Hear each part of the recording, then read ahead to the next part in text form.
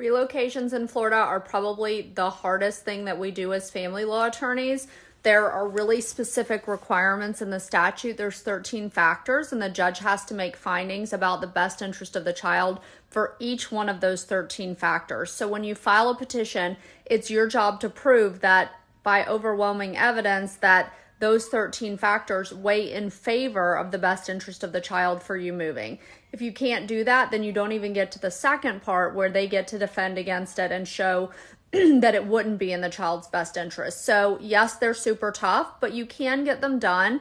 And there are certain circumstances where it does make sense. It's really something that is very fact specific. So, you're wanting, definitely going to want to get in touch with a family law attorney.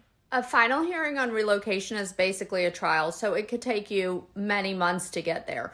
But under the statute, if you file a petition for relocation, you're entitled to a temporary relief hearing within 30 days. I put the copy of it here for you.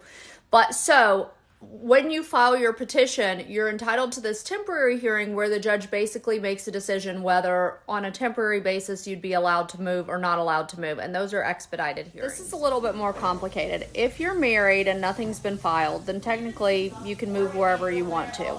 If you have never been married before and you've never been to court before, then technically you could move wherever you wanted to if you're the mom if you're the dad, then you're not really going to be able to have any rights to the child, so you shouldn't be moving. But if you're talking about after a court order, either after a divorce or after a parenting plan has been entered, or even after the filing of a petition for divorce or for uh, paternity, a parent cannot move pursuant to the statute more than 50 miles without a court order or the other parent's permission.